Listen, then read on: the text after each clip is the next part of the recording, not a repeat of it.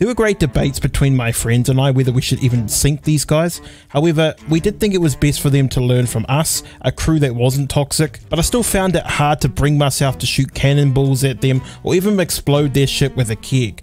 That's when my friend came up with a really genius idea. Yeah. Just let them go out of bounds and die.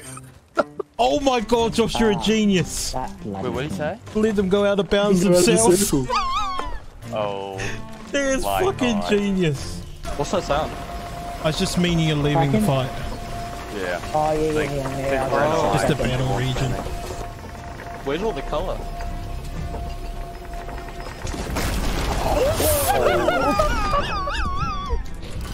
There's absolutely no way. Oh my god. After the fight, I messaged the guys and explained how the whole thing works, and they found it incredibly funny too.